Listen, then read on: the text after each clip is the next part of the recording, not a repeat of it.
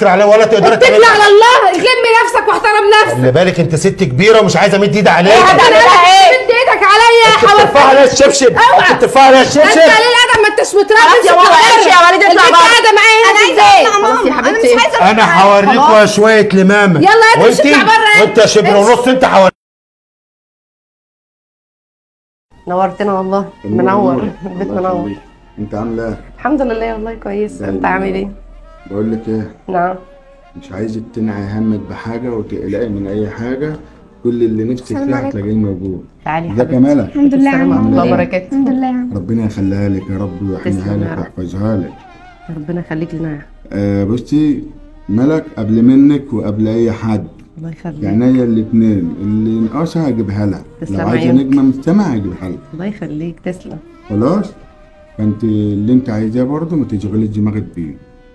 المهم اللي إحنا نعيش حياة حلوة وحياة إن سعيدة. ونبقى حلوين ونبقى مبسوطين. إحنا مش عايزين حاجة غير كده. إن شاء صح الله. ولا لأ؟ طبعا.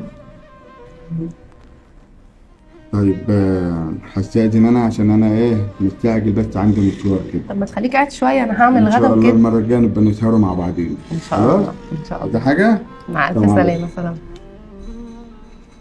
إيه رأيك في عمو أحمد؟ كويس. بيحبك قوي على فكرة. إن شاء الله هنبقى مبسوطين معاك أنا كمان بحبك. مش بقى كده تقولي وبابا ها؟ إن شاء الله. يلا بينا تعالي إحنا كمان ندخل جوه بقى نغير ونشوف هنعمل إيه. ثواني اللي بتخبط. مين اللي مستعجل قوي كده؟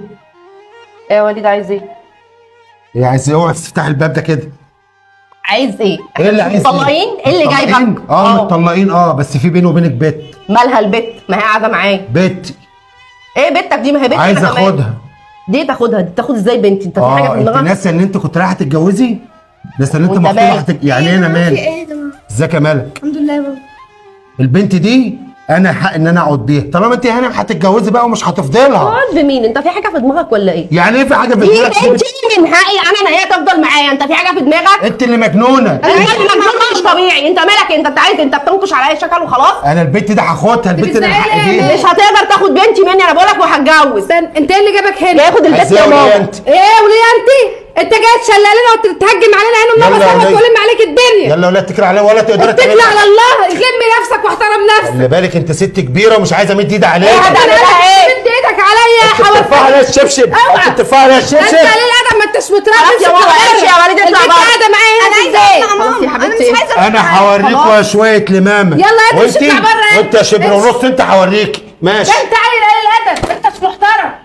انت إيه اللي كان واقعك في الجوازة السوداء دي؟ ده انت تروحي لابوه؟ والله العظيم هيبقى يومك اسود. يا ماما اصبري بس. أنا هعمل إيه دلوقتي؟ وليد غاوي شكل وناوي على شر؟ بلا ولد بلا خرا أعمل إيه ده دلوقتي. عيل مش متربي قليل الأدب. ده عايز ياخد مني البت يا ماما. أنا كده اطلعي دلوقتي على ابوه. نيجي معاكي؟ روحي لابوه دلوقتي بدل ما آخد أنا البت وأروح له بيها وهروح أفضحهم وأتهجم عليهم أنا هناك. أنا بفكر أرفض أحمد وخلاص يا ماما. ترفضي يا أختي؟ ليه؟ هتقعدي على ذكرى عمرو دياب؟ عمرو دياب يا هو ماما. تقعد على ذكرى يا بنت؟ طب نتصل ببابا نقول له يجي إيه رأيك؟ اتصلي بيه وقولي له تعالى هاتوهولي هنا. مش محترم. فكر نفسه مهند هو ولا إيه؟ كتك القرف. يا ولية شلق انتي والله العظيم ولية شلق. والتانية كمان اللي مفكراني جاي عشان خاطر البت. بت مين؟ أنا ندمت أساسا إن أنا طلقتك أصلا. أنا عايز أرجع لك. طب ما هو أنا لازم حجة البت عشان أرجع لك. لما أوقف حالك من الجواز هترجعي لي؟ أقول لك عايز أرجع لك عشان البت تعيش في وسطنا هترجعي. إنما البت البت أنا عايز اخدها ما كده كده هتعيش مع ستها أصلا. غلطة غلطة إن أنا طلقتك يا ايمان يا رب يكون ده أبوه. إزيك؟ إزيك يا عم محمد؟ عامل إيه؟ إيه إزيك؟ الحمد لله بخير يا رب. بخير. اتفضل. خير يا. حاج محمد. اتفضل خير يا بنت مش لا خير إله إلا الله. لا إله إلا الله. وحد الله يا حجي اتفضل يا حاج.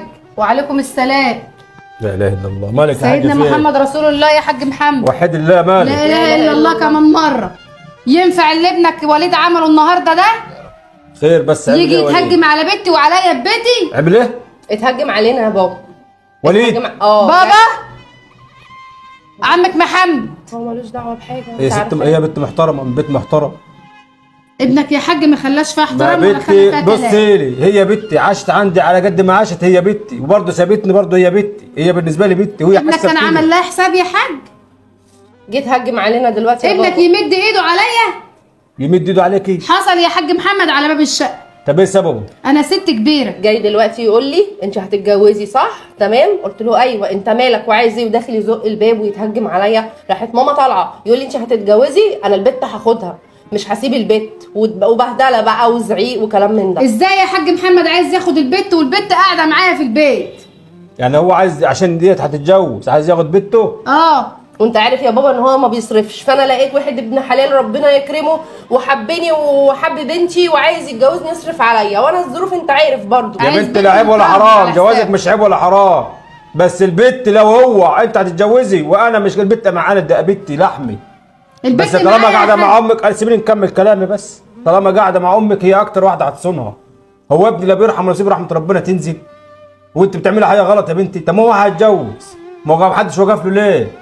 هي هو البت بيعمل كده ليه. هي البت حلالة تقعد مع ستها. مش هتبقى حنة حد فيش حد هيبقى حن عليها منها. لا أنا ولا هو. ابنك يا حاج محمد لا بيرحم ولا بيسيب رحمة ربنا تنزل. ربنا فوق يا الكلام ده غلط يا حاج بس يا محمد. بنتي. أثر لابنك. عيش مع نفس عيش حياتك. واتجوزي بنت تشوف مصلحتك وبنتك مع أمك مع امن مكان. بس يا بابا هو كده حيرني. خلاني أنا مش عارفة أتصرف أعمل إيه دلوقتي؟